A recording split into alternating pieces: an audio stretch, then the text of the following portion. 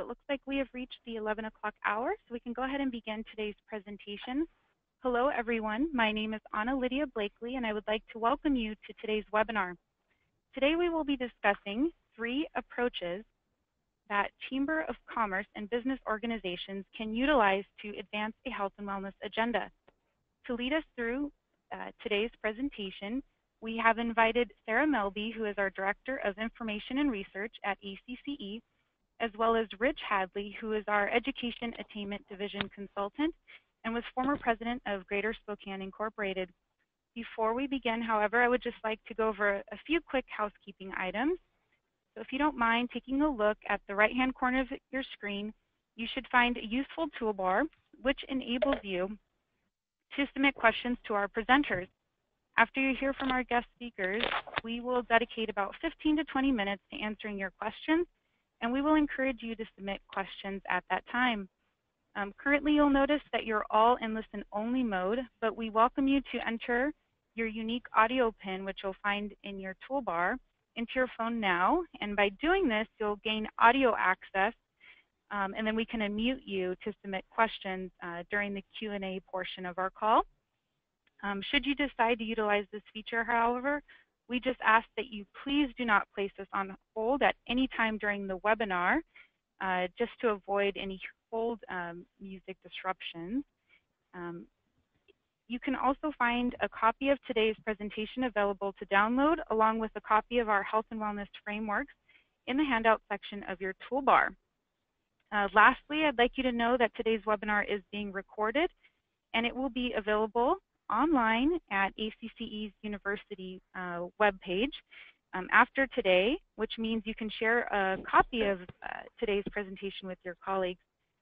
Uh, so with that being said, I would now like to hand over the presentation to my colleague Sarah to, to, to kick off today's presentation.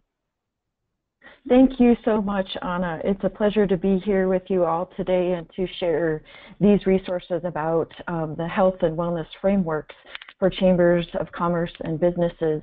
So we'll dive right into our first um, uh, framework area, which is actually ready to learn. And with all of our frameworks, you'll see the business case and the, the chamber case and um, how it affects all of our communities and healthy workplace environments. So with our Ready to Learn area, um, the call to action is really to work with community stakeholders to increase investments in quality early childhood education and wellness services to ensure that children are healthy and ready to learn when they reach kindergarten. And we know that children who are healthier learn better, and children who are more educated are healthier in turn. So improving education attainment and health outcomes will produce a long-term, more talented and productive future workforce. So we actually have um, several sample messaging um, pieces here on both our PowerPoint presentation and throughout our Chamberpedia pages, which is available again through Education Attainment Division's um, website section, as well as our Chamberpedia section of information um, on the acce.org website. So some of our sample messaging, we know that parents, policymakers, business leaders, and the general public increasingly recognize the importance of the first few years in the life of a child. And this impacts um, physical, emotional, social, and intellectual development. And we do know that many children face deficiencies between the ages of zero and five, which impedes their ability to develop the fullest potential. Um, research from Bridgespan shows that 5.8 million children nationwide are not on track to succeed as they begin kindergarten. And this problem is even more prevalent in low income communities. So we know that um, children must be healthy so they are prepared to enter um, and learn better in school. A well child will enjoy greater long-term success in school and throughout adulthood and that enables a talented and productive workforce um, capable of uh, competing in the 21st century global market. We also, stats show, research shows that improving education attainment correlates to higher income, which allows for access to healthier foods and safer environments, again impacting long-term health and wellness and wealth through the um, child into adulthood. The early years, especially the first three years of life, are so important for building the baby's brain. And everything the baby sees, touches, tastes, smells, or hears helps to shape the brain for the future um, in thinking, feeling, moving, and learning. And we know for sure with um, our sample messaging, and you can take this to your, your environments, your communities, all children, all humans have the right to be healthy. Um, some of the key facts we can point out, again, um, from research from Bridgespan, a child whose cognitive skills are increased will see an average lifetime family income income increase of $15,800.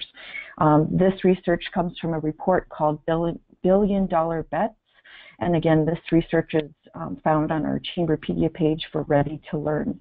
So we know that um, infusions of uh, philanthropic investments focused on children from birth to age five could put thousands of low-income Americans on an upward mobile trajectory. So it's really important for chambers and businesses and communities to work in this space. We also know, in addition to um, cognitive skills, that health and wellness and obesity impacts children. Um, childhood obesity has been shown to cost over $19,000 per child over a lifetime, and that's research from Duke University. Um, so there's a huge impact um, if you can reduce childhood obesity and improve long-term well-being. It impacts substantial health and um, economic benefits. We know also that return on investment, every dollar spent on childhood benefits um, society ranging from $1.80 to 17 over $17. That's research from the RAND Institute. So it can be hard to uh, measure though, and there is believed that this return on investment value may be much higher than the $1.80 to over $17 in the long run. Um, and again, children who are disadvantaged start kindergarten as much as 18 months behind their peers.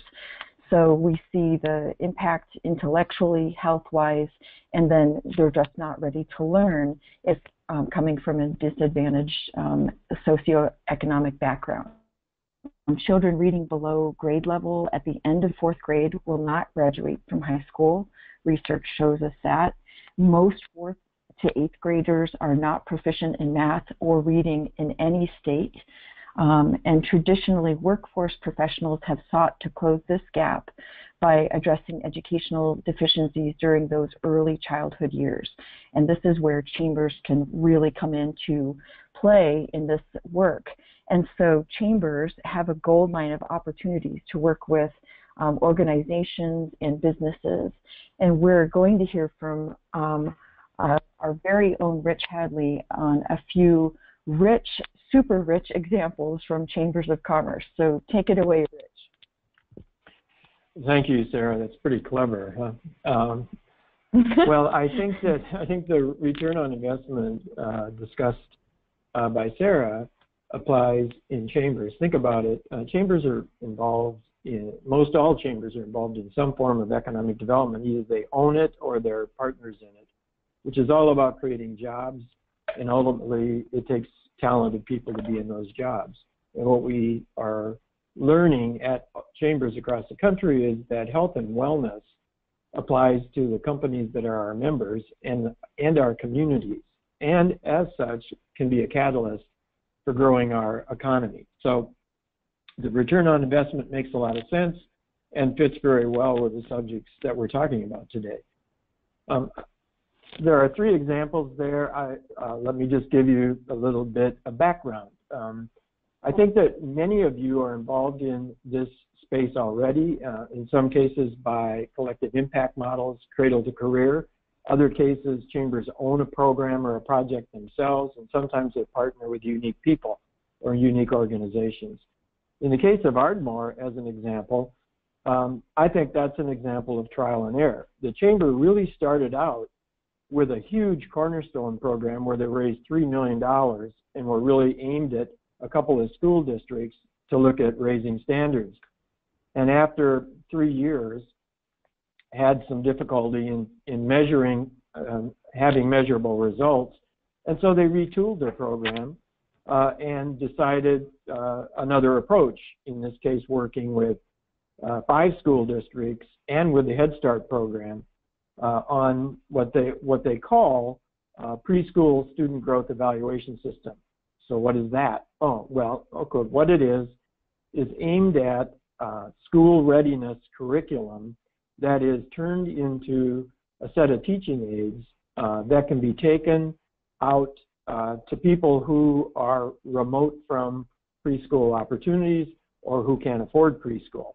So that is the nature of the um, uh, aids that the Ardmore uh, folks uh, implemented. A different way of looking at it, Glenwood Springs in Colorado has a motto called Chamber for Good. And uh, that's, I think that's a really cool way of describing their orientation through their own foundation of looking at how they partner in the community. And we're all conveners, this chamber, so they're always at the table and working with the Aspen Foundation on early childhood education. And it's really cool because they have preschool uh, on wheels. And this is a way to reach economically disadvantaged populations where they can't afford uh, to attend preschool or they don't have the transportation ability. So instead, Gus the bus uh, goes out around to those neighborhoods, uh, and those that bus has been uh, transformed into a state-of-the-art uh, preschool program, and they've served 120 students in 12 neighborhoods as a result of taking it on the road, so to speak. Very, uh, I think, clever and important. And it reminds us that foundations are really important as partners. They have money. In this case, the Aspen Foundation. Aspen is 41 miles from Glenwood Springs, but it's their region and they work together. The last example is really one that's more about advocacy and leadership. In Idaho, the state does not have a preschool uh, early childhood education program like many of our states do. And so three of the chambers, uh, Lewis and Clark, Coeur d'Alene, and Boise, have all collaborated uh, to be effective at the state capitol, uh, pushing for early childhood, pushing for uh, STEM programs, uh, pushing for an increase in state funding for K-12 schools and better pay for teachers, a whole sort of package and portfolio, but really it's aimed at uh, early childhood education, getting the state to adopt an early childhood education program. Most of our chambers are involved in advocacy. This is another example. So you have three examples, one where trial and error was involved, one where partner with a foundation, and one where it's sort of in the chamber's wheelhouse to be involved. I think they're all very different, but very, uh, very good examples of how uh, to work on ready to learn and make sure that our, our uh, early, youngest citizens, those in the zero to five category, age group, come to school ready to learn and ready uh, to be productive. So we can move on to our next category. Great, thanks, Rich. And you said it, chambers are truly conveners and collaborators. And um, today, in, our, in our, all of our resource pages, we to demonstrate how chambers are working in this space. Um, and we'll have resources, Anna will share um, a little bit more how to access those towards the end of the webinar. We're always happy to answer questions on that. But we know that ready to learn healthy children means a healthier workforce. And chambers are definitely able to support these efforts through local programs and initiatives. And so by having healthy children, it also means we have healthy um, employees. So the healthier the children, the more time that employees can spend at work, and um, the healthier parents are, they can bring this in turn to their um, homes. So this is one reason why workplace wellness is so important. Um, and the call to action really here is to help employers implement innovative and effective programs and workplace policies that encourage the adoption of healthier lifestyles because again we see this returning to the home place environments and then again impacting the ready to learn. So it's a it's a very cyclical, cyclical circular here. All of this impact is quite um, quite large. So wellness programs produce more productive employees. It helps attract and retain talent. Um, it, it uh, wellness programs build staff morale, minimize staff turnover, and combat employee absenteeism and reduce healthcare costs for employers.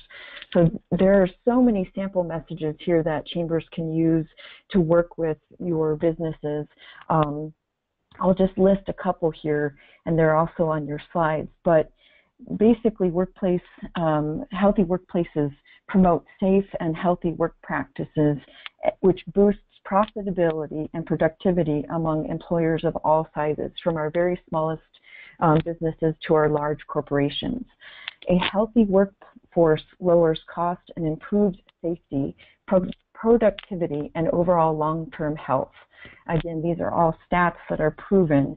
Um, and even old Benjamin Franklin said it right in the 1700s um, an ounce of prevention is worth a pound of cure. So you can always fall back on that wonderful quote from Ben Franklin. Um, companies that have exemplary safety, health, and environmental programs have outperformed the S&P 500 by between 3 and 5 percent. That's a huge improvement. So you know that healthy employees are actually um, improving the output of your um, in your companies, your businesses. Um, good health is in fact good business. So employers who focus on protecting and promoting health and safety gain more productive and satisfied employees. Again, we've mentioned um, reductions in absenteeism and lower levels of healthcare spending, and then in addition, a decrease in rates of illness and work-related injuries. And the CDC Business Pulse has all of these um, statistics. And again, pointing to the CDC, every year employee illnesses and injuries cost U.S. businesses $225 billion. Um, so that also amounts to $1,685 per employee. Improvements in health and wellness in the uh, workplace can really bring these costs down. So if you want to save $3 for every dollar spent on employee wellness programs, employee medical costs fall by an average of over $3, and absenteeism costs fall by over $2.73. This return on investment suggests the wider adoption of such programs could prove beneficial for budgets and productivity as well as um, health outcomes. So also some other statistics here, sick workers, uh, work-related injuries and illnesses, chronic diseases, absenteeism, and sick employees who return to work before getting well costs U.S. employers billions of dollars. So education around these areas, obesity, smoking, heart disease, um, all of all of these health health um, and wellness focus areas can really improve the U.S. economy, can improve your workplace environments. Best practice workplace wellness programs are linked to superior corporate stock performance. Um, it does increase the uh, bottom line, healthy bottom line for corporate America. Um, the SHRM SHRM points to this research, as well as research from HERO. It's um, the Health Enhancement Research Organization provides this correlation between comprehensive best practice wellness programs and corporate stock performance. So it's been proven again and again. Um, additional articles, examples, case studies, and statistics are all found on our Workplace Wellness Chamberpedia page. And then Rich can again take it away to share some more examples of return on investment of chambers working in the healthy workplace um, space. So again, here you go, Rich. Okay, well, a dollar spent on medical on wellness reduces medical costs by three dollars. So everybody that's listening, remember this applies to your employer too, your chamber. And uh, so modeling uh, workplace wellness at the chamber is important. And, and uh, I would say, let's start with Mason City. They do it as good as anyone I've ever seen. So Mason City uh, did a lot of work, has done a lot of work uh, on other categories of education attainment working with 20 school districts uh, to taking the National Career Readiness Certificate, and even their own chamber board took that that test. That that's a another aside. But the main point here is that uh, Iowa's governor and Wellmark, the Blue Cross Blue Shield affiliate, uh, sort of adopted the Blue Zone model program for the state, and Mason City was one of the uh, charter programs associated with that, getting a three-year grant uh, for the chamber. Uh, the, the city hired three, two staffers, the chamber one, and the chamber took on worksite wellness. And they have uh, had teams of uh, their members competing to improve worksite experiences at their own business. But they've also modeled it themselves with changes in food around the office and fitness technology, monthly wellness goals, walking meetings, and supportive communication. So Mason City is a really good model of the behavior behavior that you want to, uh, want others to adopt. So that's why they won a regional innovation award uh, at the ACC conference in Savannah. So no, Noble, Noblesville, excuse me, that the chamber there has done a lot of work on soft skills uh, for existing and young workers. And I bring this up because uh, health and wellness isn't the only thing you know that these chambers do. But on, on the issue here, uh, they adopted a team community-wide called Invest in Hamilton County. And it's based on Hamilton County being the healthiest county in Indiana. And I would just say, take a look at your, your uh, county health uh, marks to look at where your county ranks in your own state.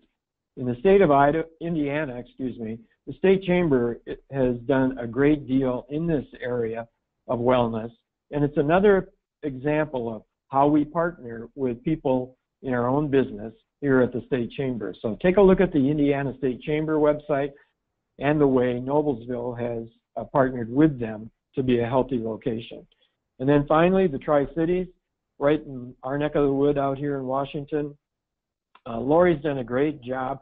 In fact, on the previous slide, uh, it said good health is good business. And that's the theme that they adopted. And it's a great theme. And they work with uh, companies uh, similar uh, to Mason City, where they do some competition between teams around uh, fitness, diet, and sleep. And they even had one of those team members, a tech wizard, create an app for them uh, to measure that, kind of like your own personal Fitbit. Um, they also had uh, an annual wellness expo and got a $10,000 sponsor from Amazon. So, from a chamber standpoint, that sounds like a, a good uh, opportunity as well. There are sponsorships available around health and wellness, and it's a great theme and a great brand for your chamber. So three more examples of how chambers with the DNA of convening, partnering, and collaborating are making a difference. Fantastic. Thanks, Rich. And you said it again. I think you're saying there's a theme here. Listen, let's listen to Rich. he says it right every time. Partnerships are key. Um, and this is something that chambers are already experts in. So you get to, you know, take this partnership ability that you all share and just extend it into the health and wellness um, arenas here for all of the frameworks we're talking about. Um, and chambers are and businesses are in the exact right spot, basically a tipping point, to really make a huge difference in employee wellness. And so by implementing health and wellness programs, employees then have the ability to adopt healthier lifestyles. And as we've already mentioned, then that impacts the home life environment. Um, the benefits of workplace wellness initiatives far outweigh their cost.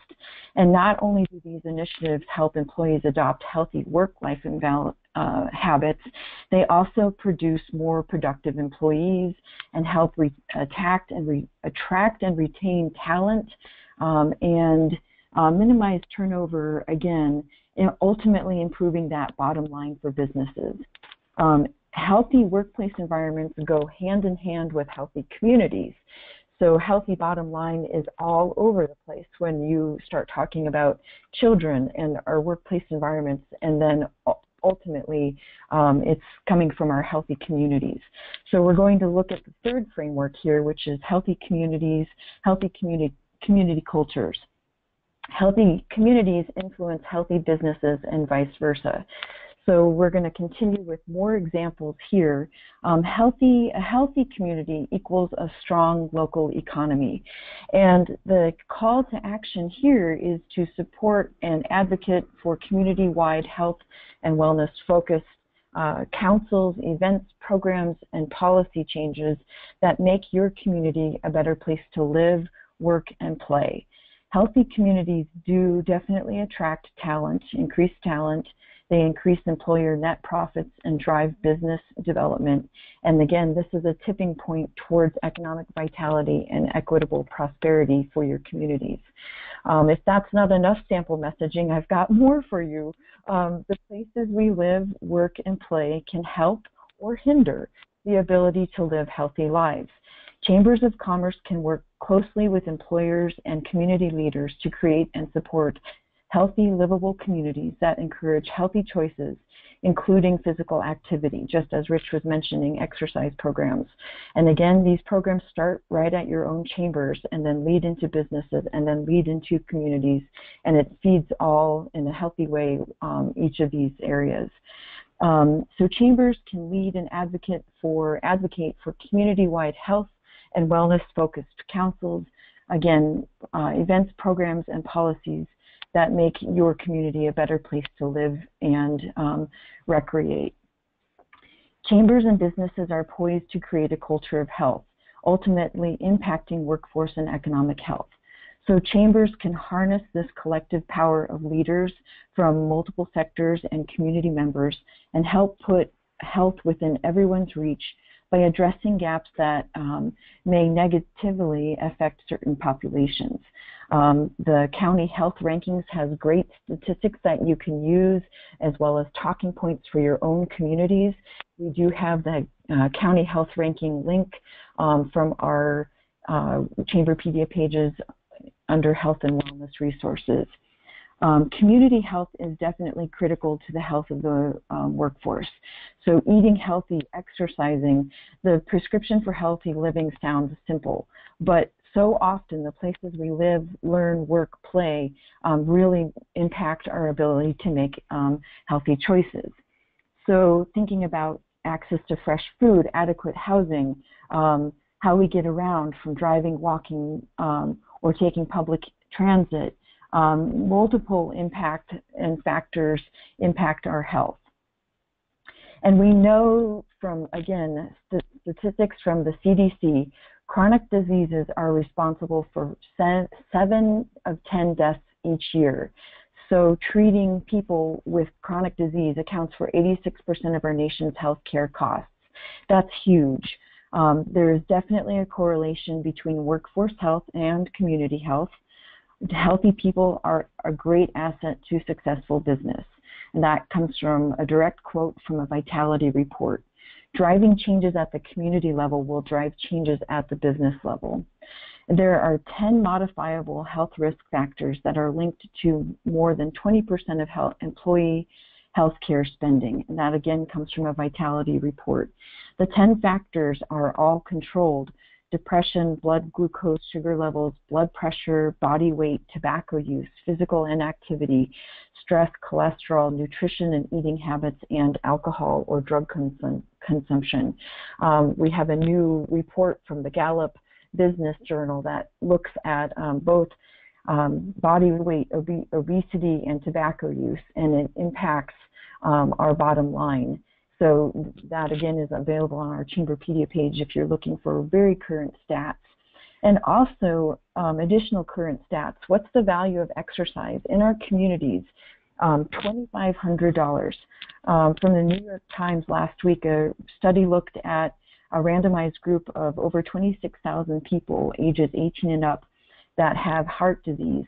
And the study found that on average, $2,500 a year could be saved if um, exercise was um, happening at least five days a week. And even for healthy people with no heart problems, the study looked at um, finding an average of $500 of savings on medical costs if everyone makes the time for recommended levels of exercise. And um, we have those recommendations also on our Chamberpedia pages as well as this article. So the health and wellness toolkit that is available in your panel here as well as on our Chamberpedia pages does look at additional stats and um, talking points that you can take um, back to your businesses and back to your community le leaders for more partnership. And Rich will uh, take it away again for more examples um, from chambers and how they're working with healthy community cultures. So here you go again, okay. Rich. Yep. So the last item on what's the value of exercise is a very personal one for me. I, uh, in my family, my brother, my and my mother both had heart-related uh, diseases, uh, and that's why I run. Last year I ran over a thousand miles, just doing it, you know, one day at a time, not a thousand miles at once. And uh, that's my way of addressing this. And I think I, if you just amplify that community-wide, finding ways for people to be healthy and then healthy communities. So the examples that we have, um, I'll, I'll, start with the Seminole Chamber uh, in Oklahoma because it's it's got a unique partner, the Seminole tribe. You know, many tribes have fitness centers, and if you're located in an area where there are tribes, you may have already uh, been at a, a fitness center that they've sponsored. They're really quite good uh, in many many locations.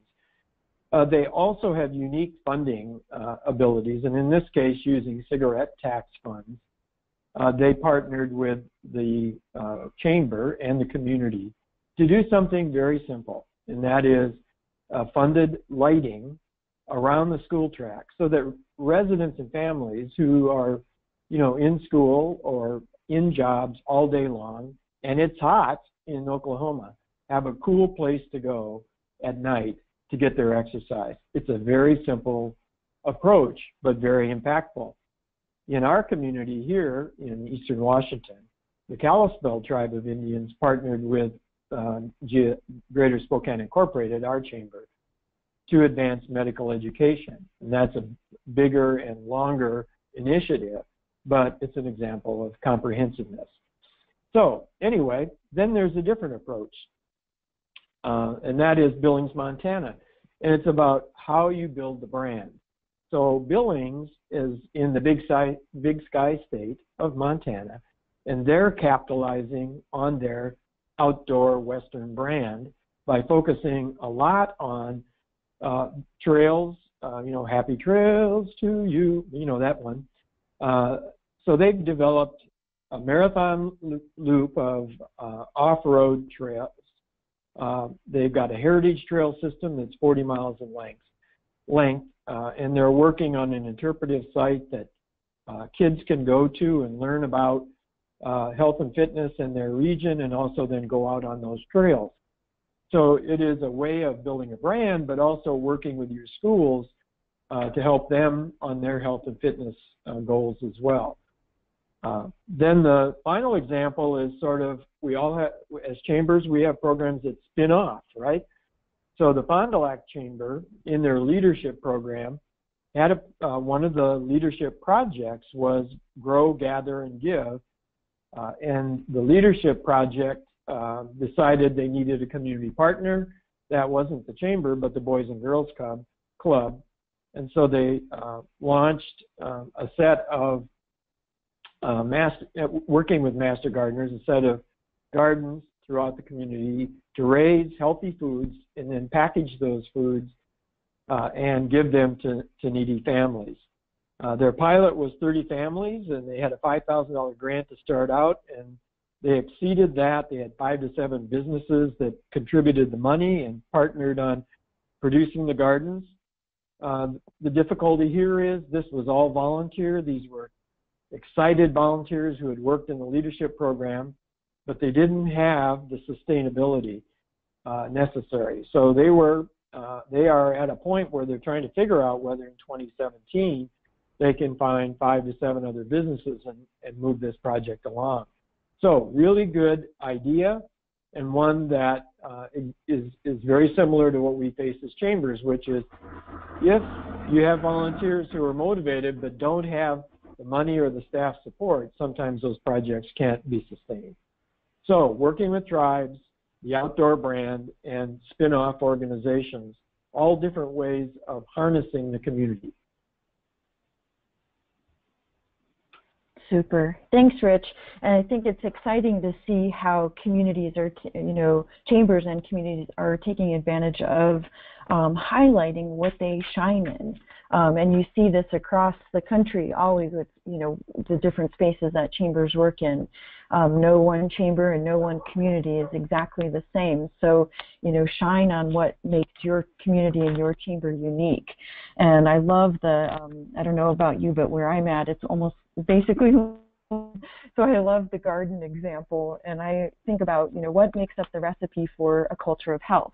And we know that the essential ingredients in a healthy life are um, housing, adequate housing, public transportation, quality health care, and what you were just mentioning, Rich, the healthy and fresh food choices, um, safe places to exercise and play with lighting and trails initiatives, and then tying it all in, healthy workplaces and healthy learning environments. And these all impact, um, you know, this, this culture of health and how we can um, improve chambers and businesses and communities and organizations can really work together and the key is here, um, we need a song. Rich can do it all. You can sing and you can run.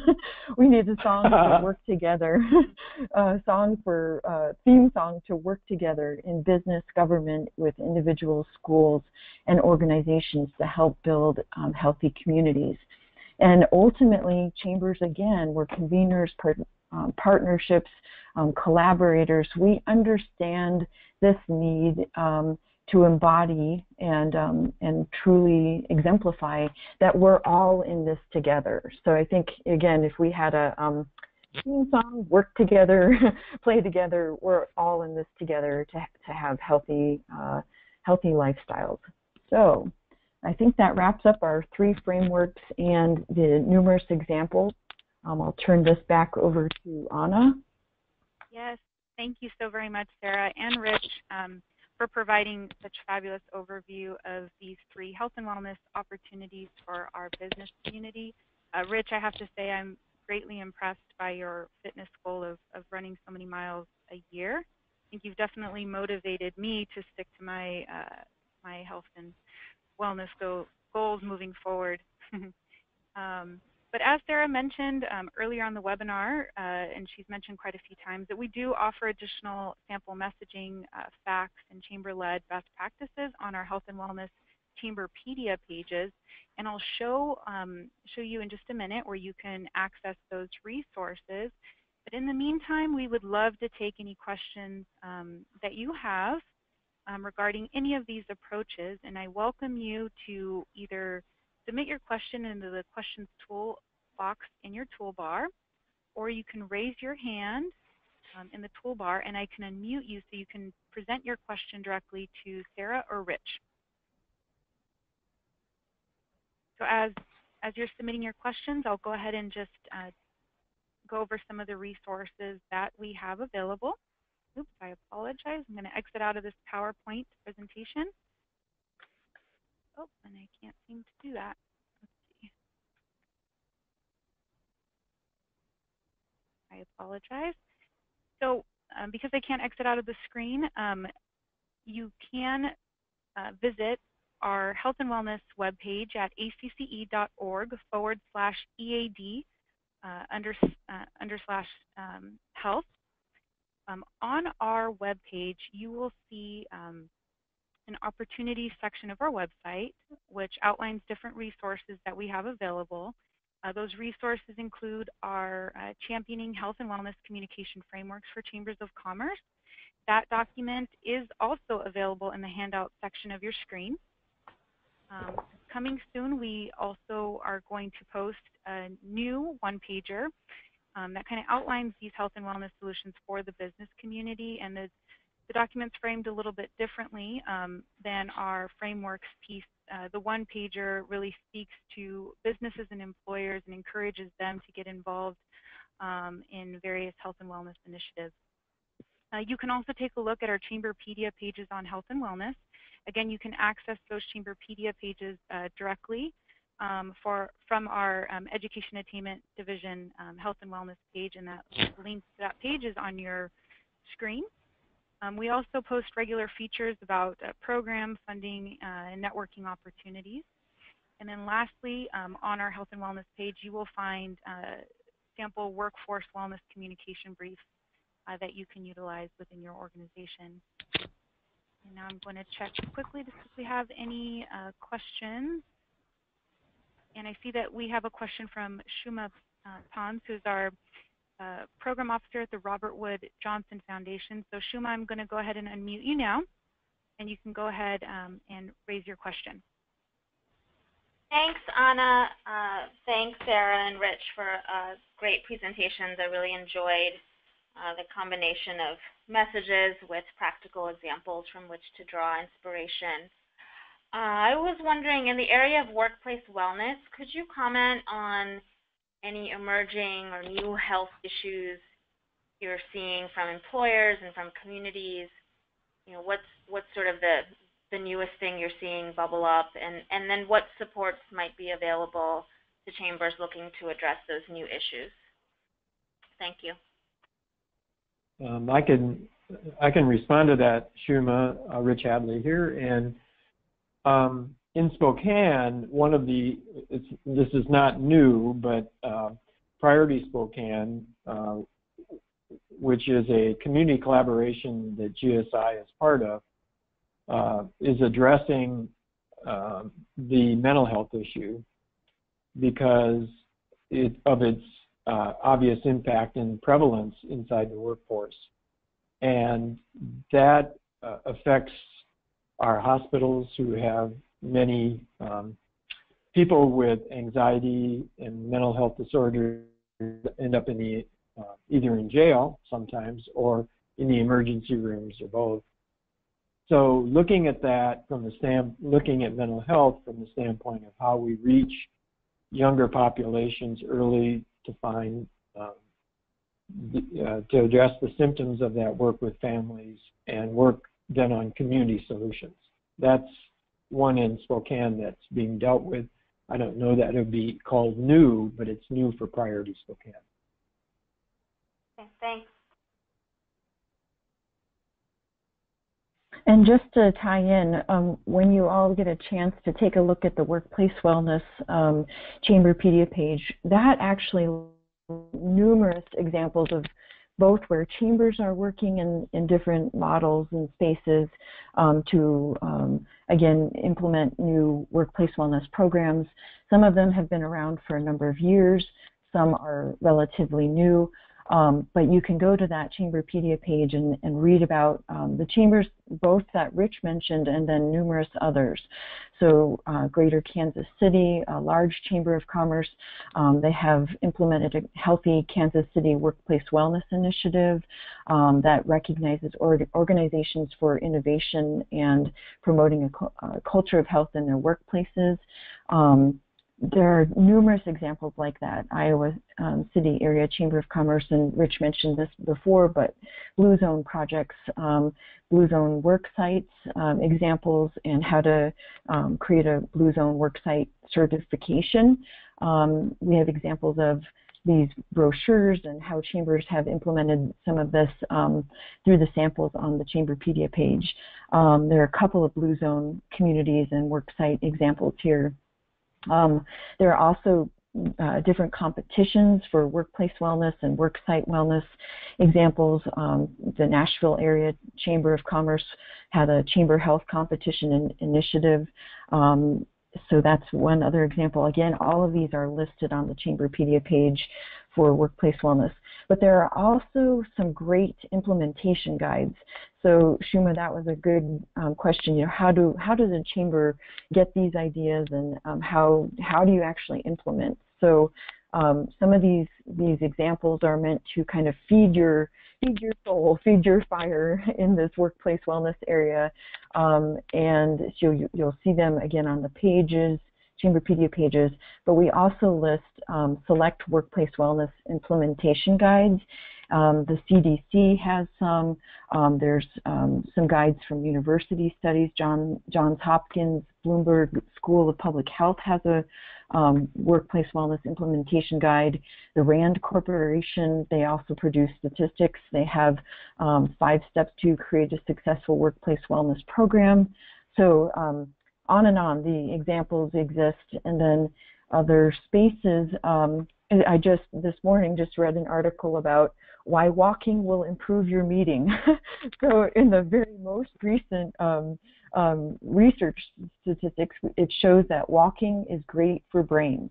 So some ideas we will uh, list here, um, but walking improves creativity, and so you may consider having you know walking meetings and um, creating that for your own chamber and, and finding ways to bring in um, that kind of program to businesses, to your business members.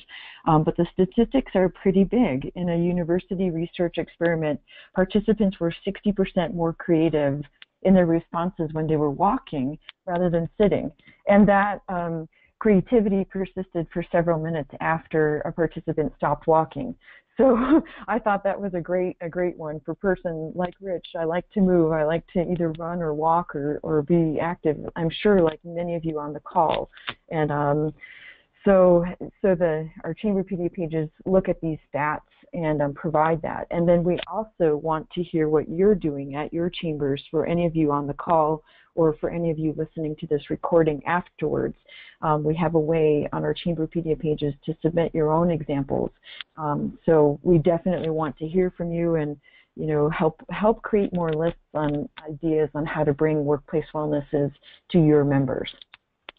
Mm -hmm, absolutely, and thank you uh, Sarah. Um, and Shuma, just to go back to your question about interesting uh, health and wellness opportunities that we've seen arise, um, one of the other opportunities that we've um, we've seen from our members is um, the opportunity in um, improving tourism um, in a community as individuals are interested in health and wellness activities when they travel so chambers of commerce are looking at how they can improve uh, walking trails um, or activities uh, for uh, tourists, and that in turn drives business development.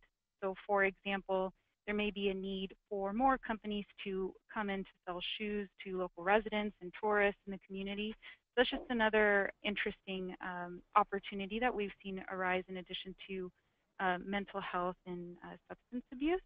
Um, so they don't just span the, the ready-to-learn uh, workplace wellness or healthy communities. Um, the opportunities um, really are endless, um, which is really exciting. Um, I did receive a question from one of our members asking um, if it's possible to uh, share a copy of today's slide. It is available in the handout section for you to download. you are also more than welcome to email me directly, and I can go ahead and uh, share a copy of today's uh, presentation with you. Um, in the handout section, you'll also find a copy of our health and wellness uh, frameworks for chambers of commerce. So we encourage you to take a look at that document as well. Um, do we have any other questions from our participants? Feel free to raise your hand and I can unmute you, or you can submit a question in the questions toolbar.